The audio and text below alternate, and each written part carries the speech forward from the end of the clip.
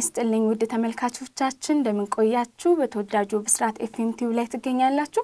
እኔ ደግሞ ሰብለ በቀለ ነኝ። ዛሬም እንደወትሮ የተለያዩ ስፖርታዊ መረጃዎችን ወደ እናንተ ልናደርስ እዚህ ስቱዲዮ ተገኝተናል። በቆይታችንም ደግሞ ዘና ፈታ እያላችሁ ከኛ ጋር ጥሩ ቆይታ እንደሚኖራችሁ ተስፋ እናደርጋለን። እንግዲህ በትላንትናው ዕለት የተለያዩ ሀሳቦችን ለማንሳት ሞክረን ነበር። ማንቸስተር ሲቲ ከተመረጡት ሀያ ክለቦች መካከል ሀብታሙና ዝነኛው ክለብ ሆኗል። ስለ እሱ አንስተን ነበር። ዛሬ ደግሞ እንግዲህ በቆይታችን ሌላ ሀሳብ የምናነሳ ነው የሚሆነው። ሙሉ ትኩረታችን የላሊጋው ክለብ ላይ በማድረግ ባርሰሎና በአሁኑ ሰዓት ያለበት ጥሩ አቋም ላይ ይገኛል። ይሄ አቋም ደግሞ እንዴት ሊመጣ ቻለ የሚለውን ነገር እናነሳለን። እንዲሁም ደግሞ የዓለም ዋንጫ ማጣሪያዎች ተጀምረዋል። ስለ እነዚህ ጨዋታዎችም በዛሬው ዕለትም የሚደረጉ ጨዋታዎች አሉ። ስለ እነሱም እናነሳለን። ይህን ቆይታ ለማድረግ ደግሞ እዚህ ስቱዲዮ ውስጥ ቢኒያም ጥላሁን አብሮኝ ይገኛል። ከእሱ ጋር ጥሩ ቆይታ እንደሚኖረን ተስፋ እናደርጋለን። በቅድሚያ ግን ወደ ሀሳቦቻችን ከመግባታችን በፊት ቢኒ እንኳን ደህና መጣ። እንኳን ደህና ቆየሽኝ ሰብሊ፣ እንዴት ነሽ? እግዚአብሔር ይመስገን። ዛሬ እንዳልሽው የዓለም ዋንጫ ማጣሪያዎች እየተደረጉ ነው። ሊደረጉ ያሉ የዓለም ዋንጫ ማጣሪያዎችም አሉ በተለያዩ continent ኦች፣ በአውሮፓ፣ በሳውዝ አሜሪካ እንዲሁም በኤዥያ እንደዚህ ውድድሮች ይደረጋሉ። ዛሬ የሚደረጉ የተለያዩ ውድድሮች አሉ። እንግዲህ ከላቲን አሜሪካ ምድብ ዛሬ ሌሊት ላይ ሌሊት ካለፈ በኋላ ነው የሚባለው አይደል? በእኛ እኩለ ሌሊት አልፎ ስምንት ሰዓት ከሰላሳ ላይ የሚደረጉ ጨዋታዎች አሉ። ብራዚልን ከቺሊ፣ ኮሎምቢያ ከቦሊቪያ፣ ፓራጓይ ከኤኳዶር እና ዩሩጓይ ከፔሩ ዛሬ የሚደረጉ ጨዋታዎች ናቸው። በ እንግዲህ በአውሮፓ መድረክ የሚደረጉ ወሳኝ የሚባሉ ጨዋታዎች አሉ። ይሄ የአውሮፓ መድረክ ጨዋታዎች እንደ ሌላው ጊዜ ሁለት ቡድኖች ብቻ በ playoff ተገናኝተው የሚያልፉበት አይነት ስርዓትን አስቀርተው እንደ ምድብ አይነት አዘል አድርገውታል። አንድ ምድብ ላይ እንግዲህ ከጣሊያን እና ከፖርቱጋል አንደኛውን ቡድን እንግዲህ በሚቀጥለው የዓለም ዋንጫ ላናይ የምንችልበት እድል አለ። አንድ ምድብ ውስጥ ተካቷል። ጣሊያን ዛሬ ምሽት አራት ሰዓት ከአርባ አምስት ላይ ከኖርዝ ሜሴዶኒያ ጋር የሚያደርገው ጨዋታ የሚጠበቅ ነው የሚሆነው። ሌላው ፖርቱጋል ከቱርክ ጋር ጨዋታውን የሚያደርጉ ይሆናል። ስዊድን ከቼክ ሪፐብሊክ እንዲሁም ዌልስ ከኦስትሪያ ዛሬ ጨዋታቸውን ያደርጋሉ። በኤዥያ ምድብ አውስትራሊያ ከጃፓን፣ ሳውስ ኮሪያ ከኢራን፣ ሌባኖን ከሲሪያ፣ ቪየትናም ከኦማን፣ ኢራን ከ ኢራቅ ከዩናይትድ አረብ ኤምሬትስ እንዲሁም ወሳኙ የሚባለው ጨዋታ ቻይናን ከሳውዲ አረቢያ ጋር የሚያገናኘው ነው። እኛ ልናየው የፈቀድነው ጨዋታ እንግዲህ በአንድ ምድብ ላይ የተደለደሉት የጣሊያንና የኖርዝ ሜሴዶኒያ እንዲሁም የፖርቱጋልና የቱርክን ጨዋታ ነው። እንግዲህ ይሄ በጣም ወሳኝ ጨዋታ ነው። የሁለቱ ተጋጣሚዎች ወይም ደግሞ የሁለቱ አሸናፊ ነው አንድ ላይ የሚገናኘው የጣሊያን ከኖርዝ ሜሴዶኒያ እንዲሁም ፖርቱጋል ከተርኪ የሁለቱ አሸናፊ እርስ በርስ ተፋልሞ እንግዲህ አሸናፊው ቡድን ወደ ዓለም ዋንጫው በቀጥታ የሚያመራ ይሆናል። እንግዲህ የምንጠራቸው ስሞች ምናልባት በፖርቱጋልም በጣሊያን ብሔራዊ ቡድንም በሚቀጥለው የዓለም ዋንጫ ላንመለከታቸው የምንችላቸው ስሞች አሉ። በፖርቱጋል ከቱርክ ጋር በሚያደርገው ጨዋታ እንግዲህ ሚትሮቪች የሚባልን ስም ፖርቹጋላውያን ፈጽሞ የሚረሱት አይመስልም። ሰርቢያ ከፖርቹጋል በሜዳዋ ባደረገችው ጨዋታ እንግዲህ ለዚህ playoff የዳረጋት ጨዋታም ይሄኛው ጨዋታ ነው። በተጠናቀቀ ደቂቃ ወይም ከዘጠና በኋላ በተጠናቀቀ ደቂቃ ሰርቢያዎች ፖርቹጋል ላይ ጎል አስቆጠሩና ፖርቹጋል ለዚህኛው playoff እንድትጋለጥ አድርጓት በምድቧ ሁለተኛ ሆና አለፈች። ሰርቢያ ፖርቹጋልን ጥላ ወይም ፖርቹጋልን አልፋ በነጥብ አንደኛ ሆና ማለፏን አረጋገጠች። ለዚህኛው የ playoff ውድድር እንግዲህ ፖርቹጋል እንድትዳረግ ያደርጋት ያኛው ጨዋታ ነው ብሎ በአጠቃላይ መናገር ይቻላል። በመጨረሻዎቹ አምስት ጨዋታዎች አንዱን አቻ ወጥታ አንዱን ተሸንፋ ነው እንጂ ፖርቱጋል የምድቡ መሪ ሆና ለረጅም ሳምንታትም ስትመራ እንደነበር እናስታውሳለን። እንግዲህ ዛሬ ምሽት በሚደረገው የፖርቱጋልና የቱርክ ጨዋታ በፖርቱጋል በኩል ዝነኛ የሆኑ ስሞች በዚህኛው ዓመት በክለቦቻቸው በጣም ላቅ ያለ ብቃትን ሲያሳዩ ከነበሩ ተጫዋቾች ፖርቱጋል ተጠቃሚ የማትሆንበት እድል አለ። እንግዲህ በማንቸስተር ሲቲ ብዙ ነገር ዘንድሮ አደረገ ወይም ለፍጹማዊነት ቀረበ ስንለው በነበረው ማንቸስተር ሲቲ ውስጥ በተከላካይ መስመር ይህን ቡድን ወይም ለዚህ ቡድን መረጋጋት የጎላ ድርሻ የነበረው ሩበን ዲያዝ በዚህኛው ጨዋታ የማይሳተፍ ተጫዋች ነው። ሌላው የቡድን አጣማሪው ጃኦ ካንሴሎም በዚህ የቱርኩ ጨዋታ በፖርቱጋል ብሔራዊ ቡድን በኩል አይሳተፍም ተብለው ከተጠቀሱት ተጫዋቾች ስም ዝርዝር ውስጥ ይገኝበታል። ሌላው በኮቪድ በመጠቃቱ በዚህኛው ጨዋታ አይገኝም የተባለው ተጫዋች ፔፔ ነው። ፔፔ እንግዲህ ላለፉት ጊዜያት በአውሮፓ ትላልቆቹ ክለቦች በነ ሪያል ማድሪድ ስሙን ስናነሳው ነበር። አሁን ደግሞ ወደ ፖርቱጋል አቅንቶ በፖርቶ በጣም ድንቅ የሚባል እንቅስቃሴን ሲያሳይ ነበረ። በዚህኛውም ዓመት ምናልባት ከአንድ incident ውጪ በፖርቱጋል ሊግ ድንቅ እንቅስቃሴያቸውን ካሳዩ የተከላካይ መስመር ተጫዋቾች አንዱ ነበር። ምናልባት ከስፖርቲንግ ሊዝበን ጋር ባደረጉት ከፍተኛ ትንቅንቅ በበዛበትና ብዙ ቢጫና ቀይ ካርዶች በተመዘዙበት ጨዋታ እሱም እንግዲህ ለእንደዚህ አይነት ነገር ሰለባ እንደሚሆን ይታወቃል። ከተጫዋቾች ጋር ብዙ ይጋጫል። ብዙ ቀይ ካርዶችንም ከሚያዩ ተጫዋቾች አንዱ ነው። በዛኛውም ጨዋታ እንግዲህ የቀይ ካርድ አይቶ የብዙ ተንታኞች እንግዲህ የወሬ ማድመቂያ ሆኖ ነበር እና ከዛ incident ውጭ ዓመቱን በጥሩ ሁኔታ ካሳለፈ ካሳለፉ ተጫዋቾች መካከል የሚጠቀስ ነው የሚሆነው። የተከላካይ መስመሯ ፖርቱጋል እንግዲህ የፔፔን ግልጋሎት የማታገኝ ነው የሚሆነው። እንግዲህ ለረጅም ዓመታት ከጆዜ ፎንቴ ጋር በመሆን ይሄ የተከላካይ መስመሩን በትክክል ሲያጣምርና በትክክል ሲመራ የነበረ በጣም አንጋፋ ለፖርቱጋላውያን የሚመኩበት ተከላካያቸው ነው። በዚህኛው ጨዋታ እንግዲህ ፖርቱጋል የማታገኘው ይሆናል። ሌላው በዘንድሮ ዓመት በፍሬንች ሊግ ከሊዮን ጋር በጣም ድንቅ እንቅስቃሴ ሲያሳይ የነበረው ራኔቶ ሳንቼዝም ሬናቶ ሳንቼዝም በዚህኛው ጨዋታ የማይገኘው ሌላው የፖርቱጋል ተጫዋች ነው የሚሆነው እንግዲህ ለብዙ ጊዜያት ይህን ተጫዋች በቋሚነት ሳያሰልፉት ብዙ ጨዋታዎች ሲያልፉት ነበረ። በተለይ አሰልጣኙ ፍልስፍናቸው more defensive የሆነ ቡድን ስለሆነ ከ2016 በኋላ የ2016ቱን የአውሮፓ ዋንጫ የፖርቱጋል ብሔራዊ ቡድን ካነሳ በኋላ በተወሰነ መልኩ ይሄኛው ቡድን ተጋላጭ ሆኗል ሲሉት ነበረ። ምክንያቱም በአንድ ጊዜ በጣም የበዙ ተጫዋቾች የፈሉበት ብሔራዊ ቡድን ነው።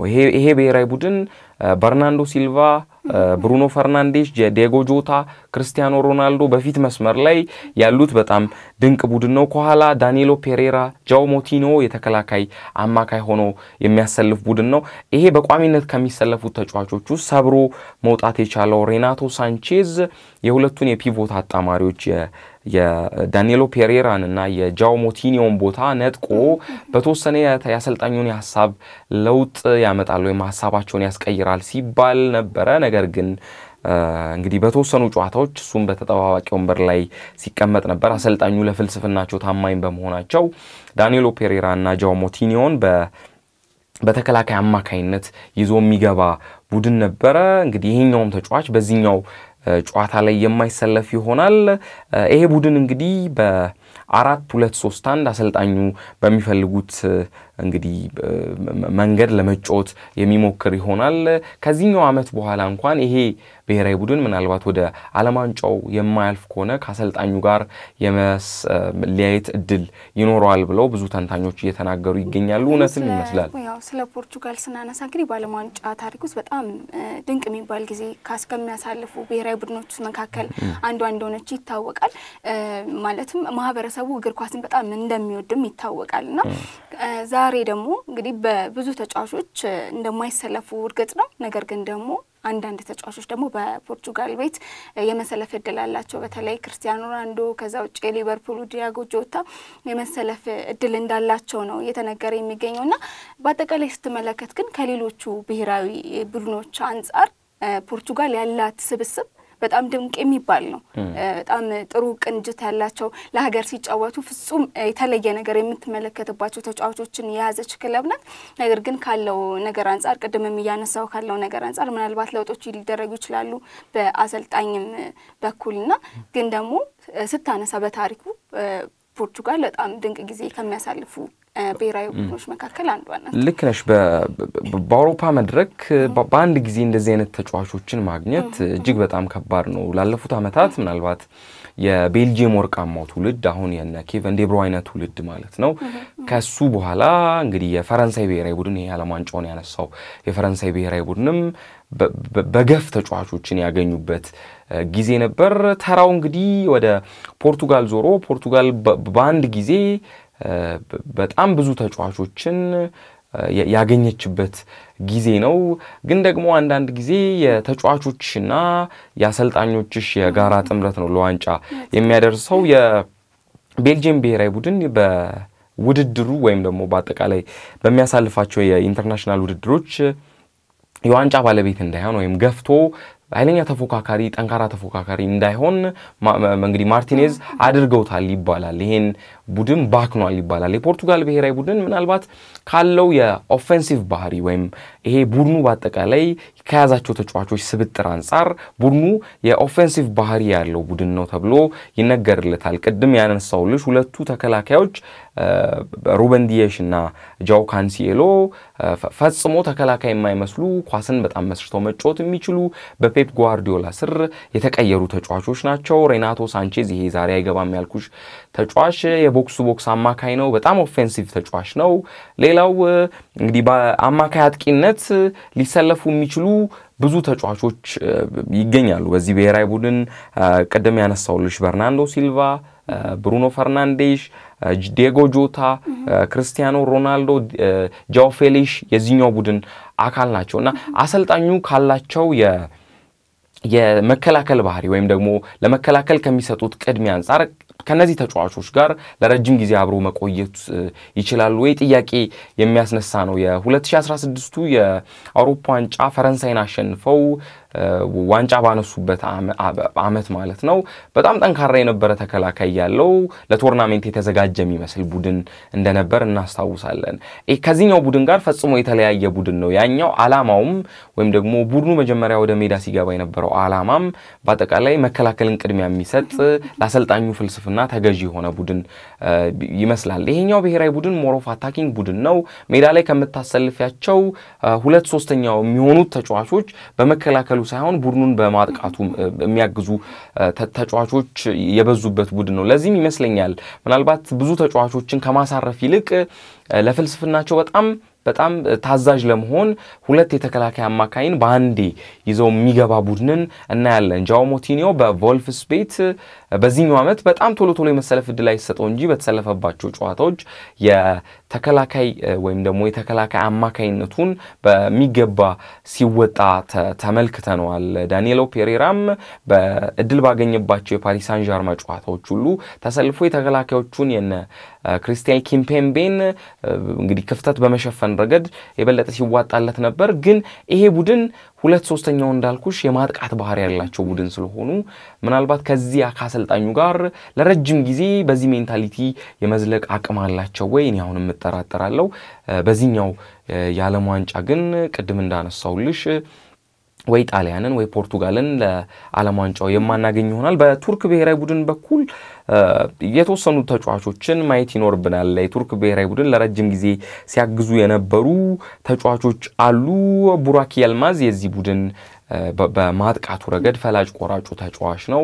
ብዙ ጎሎች ከቱርክ የምታስቆጥር ከሆነ ላለፉት ጊዜያት ከዚህ ተጫዋች እግር የተነሱ ኳሶች የቱርክ ብሔራዊ ቡድንን በትልቁ እንድናነሳው ወይም ውጤታማ እንዲሆን ያደረጉ ይመስላሉ። ዘንድሮ ከኤሲ ሚላን ቤት ወደ ኢንተር ሚላን በመሄድ እንግዲህ ኢንተር ሚላን የአምናውን ሻምፒዮን ኢንተር ሚላንን ዘንድሮም ሻምፒዮን እንዲሆን እገዛ ሲያደርግ የነበረውና በተወሰነ መልኩ ከአምናው የኤሲ ሚላን እንቅስቃሴው ወርዷል ሲባል የነበረው ሀካን ሻካኑግሉ የቱርክ ብሔራዊ ቡድን አሁንም በአማካይ ስፍራ ወይም በአጥቂ አማካይ ስፍራ ሲመካበት የሚመካበት ተጫዋች ነው። በተከላካይ መስመር እንግዲህ የሶስቱንም department እናንሳ ብዬ ነው። በተከላካይ መስመር ካግላርሽ ሶዩንቹ ይሄ ልናየው የሚገባ ምናልባት የቱርክ ብሔራዊ ቡድን ለሚቀጥሉት ዓመታትም አለኝ ከሚላቸው የተከላካይ ስፍራ ተጫዋቾች መካከል እንደ አንዱ ልንጠቅሰው የምንችለው እንግዲህ በሌስተር ቤት ወደ ማንቸስተር የሄደውን ሃሪ ማጓየርን በመተካት ረገድ የተረጋጋ ተከላካይ ስፍራ በመፍጠር ረገድ የሌስተር ሲቲን የተከላካይ department በማጠናከር ረገድ ትልቅ ድርሻ ላለፉት ዓመታት ሲወጣ የነበረ ተጫዋች አሁንም በቱርክ ብሔራዊ ቡድን የበለጠ የሚጠቀሱ ከሚጠቀሱ ተጫዋቾች አንዱ ነው። እንግዲህ ይሄ ጨዋታ ምሽት አራት ሰዓት ከአርባ አምስት ላይ ፖርቱጋል ላይ የሚደረግ ጨዋታ ነው። በተመሳሳይ ሰዓት ግን ጣሊያን ከኖርዝ ሜቄዶኒያ የሚያደርገው ጨዋታ ይጠበቃል። የሁለቱ አሸናፊ እንግዲህ እርስ በርስ ተገናኝቶ ለዓለም ዋንጫው የሚያልፍ ይሆናል። ሰብሊ እሺ እንግዲህ ያው በቀጥታ ወደ ላሊጋው ክለብ እንሂድና ባርሰሎና እንግዲህ በዚህ የውድድር ዓመት በጣም ድግ ጊዜ እያሳለፉ ካሉ ክለቦች መካከል አንዱ ሆኗል። በተለይ ደግሞ ባልተገመተ ሁኔታ በትክክል እና ሰሞንኛ አቋሙን ደግሞ ስንመለከት እንግዲህ በጣም ድንቅ የሚባል የድሮ ባርሰሎና ተመለሰ እስከ ማለት የሚያስደርስ አይነት ነገር ነው የተመለከት ነው። በተለይ በኤር ክላሲኮ ከሪያል ማድሪድ ጋር በነበረው ቆይታ ላይ በጣም ድንቅ የሚባል የአጨዋወት ስልት፣ በጣም ድንቅ የሚባል ጎል የተመለከትንበት ምሽት ነበርና እስኪ ስለ ባርሰሎና እናውራ። ዣቪ ከመጣ በኋላ ምን አይነት ለውጦች ታይተዋል የሚለውን ነገር እናንሳ። የጃቪ effect የሚጀምረው አሁን አይደለም። ብዙዎች አሁን ውጤቱ እየተስተካከለ በተወሰነ መልኩ ተጫዋቾች መነቃቃት ላይ እያሉ ሲያነሱት ነበር። ግን ጃቪ starting from day one ወይም በባርሰሎና ከመጣበት የመጀመሪያዋ ቀን ጀምሮ አንዳች ነገር በባርሰሎና ለመፍጠር ቁርጠኛ እንደሆነ ሲያስታውቅ ነበር። ሕጎችን ሲያወጣ ብዙ ሚዲያዎች ሲቀባበሉት ነበር። እዚህ በጣም የፈራረሰ የሚመስል ቡድን ላይ እንዴት እንደዚህ አይነት ሕጎችን ታወጣለህ? ወይም እንደዚህ አይነት ሕጎች ይሄን ቡድን በምን ያክል ደረጃ ይጠቅሙታል ብለው ብዙ ሲያነሱበት ነበር። ግን ጃቪ ሄርናንዴዝ የአጠቃላይ የባርሰሎናን ውስጣዊ ወይም መዋቅሩን የሚያውቅ ተጫዋች ነው። ከባለቤቶቹ ጋር ያለው ቅርበት የሚታወቅ ነው። ከሲኒየር ተጫዋቾች ጋር የቅርብ ጓደኛ ነው። ወጣቶቹ ተጫዋቾች እሱ ሲኒየር እያለ ሲጫወት የነበረ ተጫዋች ነው። ወጣቶቹ ተጫዋቾች በአካዳሚ ሲያድጉ የተመለከተ ተጫዋች ነው እና የባርሰሎና ብዙ ነገር የሚጠፋው ተጫዋች አይደለም እና በአሰልጣኝነት ከአልሳድ ሲያመጡት እንግዲህ ይሄ ቡድን በዚህኛው ዓመት ቢያንስ ከከበበው ደመና በተወሰነ መልኩ ገፈፍ እንዲል ወይም ያንን ደመና ገፈፍ እንዲያደርግላቸው ነበረ ሲያመጡት የነበረው። የሚቀጥለውን ባርሰሎና ለመገንባትም ዣቪ ሄርናንዴዝ ከባለቤቶቹ ጋር በተወሰነ መልኩ ንግግሮች እንደነበሩት እሱ በባርሰሎና ከመጣ በኋላ የወጡ መረጃዎች ያመለክታሉ። ከዛ በኋላ እንግዲህ የተጫዋቾችን የ personal ብቃት ወይም ደግሞ የግል ብቃት በማሳደግ ረገድ ብዙ ርቀት እንደተጓዘ ጃቪ ሄርናንዴዝ የተወሰኑ መረጃዎች ይጠቁማሉ። እንግዲህ ኦስማን ዴምበሌ ከባርሰሎና ጋር እህል ውሃው ሊበጠስ በጣም ጫፍ ላይ የደረሰ ተጫዋች ነበር። ምናልባት በባርሰሎና ለመቆየት ፍላጎት አልነበረውም።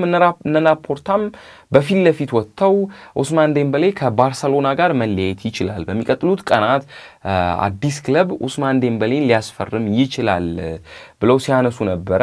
ከዛ በኋላ ግን ጃቪ ሄርናንዴዝ እንግዲህ ይሄን ተጫዋች በባርሰሎና መቆየቱን ከታወቀ ከተረጋገጠ በኋላ በባርሰሎና እንዲቆይ ያ የባርሰሎናዊ ስሜት እንዲሰማው በማድረግ ረገድ ላለፉት ጊዜያት ያልተመለከትነውን አይነት ኦስማን ዴምበሌ በዚህኛው ቡድን ውስጥ በደንብ ስንመለከተው ነበር። ከዛ በኋላ እንግዲህ በተወሰኑ ጨዋታዎች የተወሰኑ መነሳሳቶች በዚህ ባርሰሎና ቡድን ውስጥ መጡ።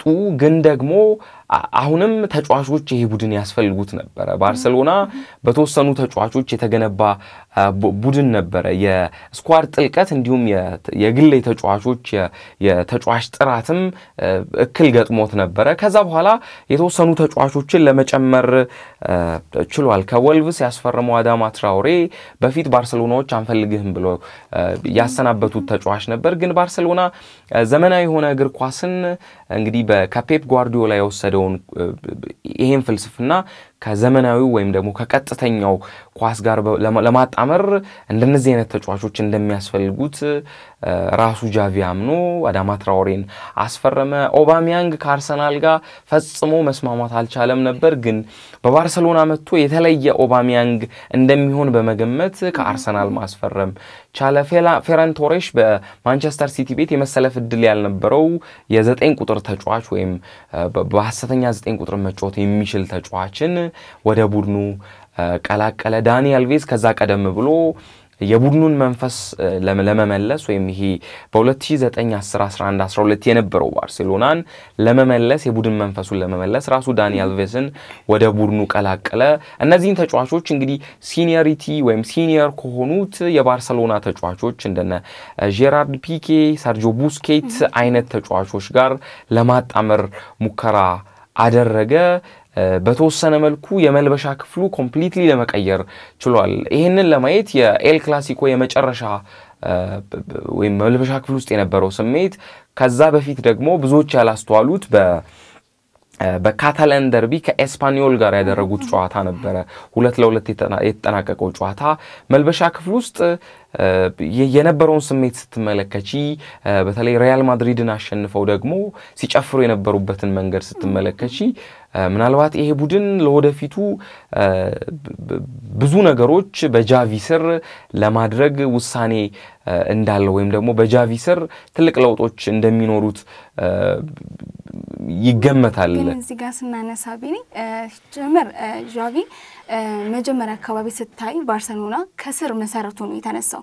ባርሰሎና ከዚህ በፊት የነበረበት ነገር ስንመለከት ፍጹም የተበታተነ ቡድን ፍጹም እያፈሰሰ የነበረ ቡድን ወንፊት የሆነ ቡድን ነበረ እሱ ከመምጣቱ በፊት የነበረው እና ቅድም እንዳልከው ነው ያንን ቡድን ከመስራት ጀመረ ማለት ነው። የአንድ አሰልጣኝ quality ቡድኑ ላይ ያለው ችግር ምንድን ነው ብሎ ማሰብ ይመስለኛል እንደኔና ማለት ተጫዋቾችን ለመሰብሰብ ሞከረ፣ mentalityያቸው ላይ ለመስራት ሞከረ፣ አሰራሩ ምን አይነት ነገር እንደነበረና ያንን ለመቀየር የሞከረበት መንገድ እጅግ የሚያስደንቅ ነበር። እንደውም ቅድም ስለ ኦስማን ዴምቤሌ ስታነሳ ነበር ኦባሚያንግ እንደውም በቅርብ በመግለጫው ላይ እያነሳ የነበረው ነገር ነበርና ኦስማን እንዲቆይልኝ ይፈልጋሉ ሲል በመግለጫው ላይ ተናግሮ ነበርና ይሄ እኮ የቡድን ትስስር በቃ ትፈጥራለህ እና ይሄ ምንድን ነው። መጀመሪያ አንድ ነገር ለመስራት እኮ መግባባት ይኖርብሃል ማለት የሆነ መናበብ ለምሳሌ እናንተ ለማውራት የሆነ መናበብ ያስፈልገናል አይደል? እንደ ቡድን ለመጫወት ደግሞ የሆነ ስሜት መፍጠር ይኖርብሃል እና ተጫዋቾች ላይ ያንን mentality ነው የሰራው ብዬ ነው ማስበው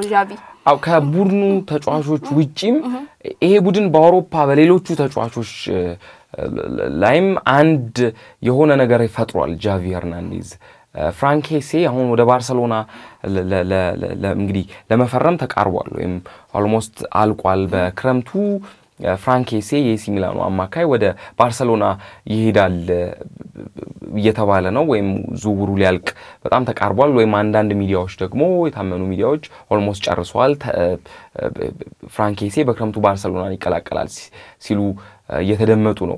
ይሄን ያመጣው የጃቪ effect ነው። ፍራንክ ኬሲ ለቡድን ጓደኞቹ የወደፊቱ ባርሰሎና ድንቅ እንደሚሆንና በባርሰሎና ሄጄ መጫወት እፈልጋለሁ ሲል ተደምጧል ሲሉ የቅርብ የፍራንክ ኬሲ ለፍራንክ ኬሲ ቅርብ የሆኑ ሰዎች ሲናገሩ ነበር። ይሄ በአጠቃላይ በቡድኑ ተጫዋቾችም ዙሪያ ወይም ደግሞ በዓለማችን በጣም ትላልቅ በሚባሉ ተጫዋቾችም ዙሪያ ለባርሰሎና ያለው mentality በድጋሚ እንዲመለስ አድርጓል። ትናንትና እንደውም አዲስ መረጃ ወጥቷል። የሊድስ ዩናይትዱ ተጫዋች ራፊንሃ የባርሰሎና ቀጣዩ ፈራሚ ለመሆን ንግግር ላይ እንደሆነ እየተገለጸ ነው። ብዙ ተጫዋቾች በዚህ በባርሰሎና ውስጥ አሁን በተጠባባቂ ወንበር ላይ ብታስቀምጫቸውም ጃቪ ላይ ብዙ የሚጮህ ተጫዋች አትመለከችም። በኩማን ጊዜ አንድ ወጣት ተጫዋች አላቸው። ሪኪ ፑዊች የሚባል ተጫዋች አላቸው። ብዙ የባርሰሎና senior ተጫዋቾች የወደፊቱ ድንቁ አማካይ ነው እያሉ ሲያሞግሱት ነበር። ግን ኩማን ከመጡ በኋላ ይህን ተጫዋች ብዙ አልፈልገውም ወይም ራሱ ማሻሻል አለበት ብለው ሲናገሩ ፊት ለፊት ወጥቶ በሚዲያ እሳቸውንና ባርሰሎናን ሲያብጠለጥል ነበር። አሁን ጃቪ ከመጣ በኋላ በተጠባባቂ ወንበር ላይ ረጅሙን ጊዜ ሲያሳልፍ ግን በደስተኝነት ቡድኑ ሪያል ማድሪድን ሲያሸንፍ መልበሻ ክፍል ውስጥ ወይም እንግዲህ locker room ውስጥ ሲያስጨፍሩ ከነበሩ ተጫዋቾች አንዱ ይሄ ነው። ይሄ የቡድን መንፈሱን ጃቪ በትክክል እንደመለሰው ማረጋገጥ ላይ ራሱ እኮ በጣም እየተቆጣ የነበረበት time በጣም ትክክል ግን normal ሆኖ ነበረ ሲጫወቱ የነበረ አዎ ትላልቆቹም ተጫዋቾች ለኤል ክላሲኮ ምን ያክል በ mentality ደረጃ እንዲዘጋጁ ያደረገበት መንገድ ይሄ ጨዋታ ትልቁ የሚጠሉትን ሪያል ማድሪድን የሚገጥሙበት ጨዋታ ስለመሆኑ በደንብ ያስረዳበት መንገድ የሚገርም ነው። ሜዳ ላይ የምታየው እንቅስቃሴ በአራት ሶስት ሶስት ሶስቱን አማካኞች እየለዋወጠ ሰርጂዮ ቡስኬትን በተከላካይ አማካኝነት አንዳንዴ ፔድሪን አንዳንዴ ጋቪን የሚጠቀምበት በፊት ለፊት ላይ ደግሞ ኦባሚያንግን ከፌራን ቶሬስና ከኦስማን ዴምበሌ ጋር በአራት ሶስት ሶስት ድንቅ የሆነ ጨዋታ እንደ አስፈላጊነቱ ቀጥተኛ ጨዋታን ሲፈልግ ደግሞ አዳማ ትራውሬን የሚጠቀምበት መንገድ የተከላካይ ስፍራው ደግሞ በጄራርድ ፒኬና በአሪዮ የሚመራ በጣም ድንቅ የተከላካይ መስመር ምናልባት ላለፉት ጊዜያት ያልተዘመረለት ጥምረት ሊሆን የሚችል የተረጋጋ ጥምረት እንግዲህ ከአንጋፋው ዳኒ አልቬስ ጀምሮ እስከ ወጣቱ ሰርጂዮ ዴስት ድረስ ያለበት የተከላካይ department በጣም ድንቅ የሆነ ስብስብ ነው። ይሄ ስብስብ ምናልባት ጎልብቶ በተለያዩ ተጫዋቾች እንግዲህ ጎልብቶ የሚቀጥለውን ዓመት የሚመጣ ከሆነ ደግሞ በዚህኛው ዓመት በትልቁ የሚጠበቅ ነው የሚሆነው። ባርሰሎና ግን የእውነትም ሌሎች እንዳሉት የጃቪ effect በጣም የሚያስገርም ነው። ድንቅ የሆነ አሰልጣኝ እንደሆነም በአልሳድ አጀማመሩ አሁን ደግሞ በባርሰሎና የመጀመሪያ ጊዜያቱ አሳይቶናል። ባርሰሎና እንግዲህ እንዲህ እንዲህ እያለ ደመና የገፈፈው season ኡ በጃቪ ስርና በአንዳንድ በ January በፈረሙት አንዳንድ ተጫዋቾች እገዛም ጨምሮ ድንቅ የሆነ ቡድን መስርቷል። ጃቪ ሄርናንዴዝ ሰብሊ እንግዲህ እርግጥ ነው ያው እንደተባለው ነው። በተለይ አሁን ላይ በጣም በባርሴሎና ቤት ውስጥ በጣም ትልቅ ተጽዕኖ እየፈጠሩ ካሉ ተጫዋቾች መካከል አንደኛው ኤምሪክ ኦባሚያንግ ነው። ኦባሚያንግ ከመጣ ጀምሮ በባርሴሎና በጣም ድንቅ የሚባል ጊዜ ነው እያሳለፈው የሚገኘው። እንደውም በባለፈው ኤል ክላሲኮ ጨዋታ ላይ ደጋፊዎች መጨረሻ ላይ ሜሲ ሜሲ እያሉ ያነሱ ነበረ። ከዛ በኋላ ደግሞ የሆነ ሰዓት ላይ ኦባሚያንግ እያሉ ነበርና እንዴት ነው ሜሲ ኦባሚያንግ? በነገራችን ላይ የዣቪን አንድ ሀሳብ ለመጨመር ያክል ምናልባት ሰዓታችን ካልሄደ በሚቀጥሉት ጊዜያት ሊዮ ሜሲ ወደ ባርሰሎና ተመልሶ ለመጫወት እድል አለው የሚል እምነት አለኝ ጃቪ ሄርናንዴዝ ከሰሞኑ አንድ አስተያየት ሰጠ። የሰጠው አስተያየትን ምናልባት ሰንጥቀን የምናየው ከሆነ አሁንም የባርሰሎና ቤት ለሊዮ ሜሲ ክፍት ነው። ይሄ ማለት የተወሰኑ ንግግሮች ከጓደኛው ከሜሲ ጋር ከወኪሎቹም ጋር ስለመኖሩ ማረጋገጫ የሚሰጥ ይመስላል። በፓሪስ ሳን ጀርመን ቤት ፍጹም ያልተመቸው ሊዮ ሜሲ ፍጹም ያልተመቸው ሊዮ ሜሲ አሁን እየተነቃቃ ባለው ባርሰሎና ውስጥ ያን ሜሲን ብንጨምረው የተለየ ቡድን ለመስራት ጃቪ ይችላል የሚል እምነት አለ። ሰሞኑን ከሰጠው አስተያየት አንጻር ግን ሊዮ ሜሲ የሚቀጥለው ካታላን ለመሆን የሚችልበት እድል አሁንም ክፍት ስለመሆኑ መረጃዎች እየጠቆሙ ነው። ላንሳው ብዬ ነው። በዛ ያው እንግዲህ በፒኤስጂ ቤት ያለውን ነገር ተመልክተናል እና ሜሲም ደግሞ ደስተኛ እንዳልሆነም በመግለጫዎቹ ላይ ተናግሯል። ግን በአጠቃላይ ስንመለከት ባርሰሎና በእንቅስቃሴዎቹ በጨዋታ አቋሙ እንዲሁም ደግሞ አሁን financial ላይም ላይም የተሻለ ነገር እየፈጠረ ነው የሚገኘው። ጃቪ ድንቅ ጊዜም እያሳለፈ እንደሆነ ነው የምናስበው። ተመልካቾቻችንም ይህን ሀሳብ ይጋሩናል ብዬ አስባለሁ። በእኛ በኩል ግን የነበረን ቆይታ ይህንን ይመስል ነበረ። ፕሮግራሙን እየመራው እኔ ሰብለ በቀለ በትንታኔ በኩል ደግሞ ቢኒያም ጥላሁን ነበረ። በቀጣይ በሌሎች ርዕሶች ላይ እስከምንገናኝ ድረስ ሰናይ ጊዜ ለእናንተ ተመኘን። መልካም ጊዜ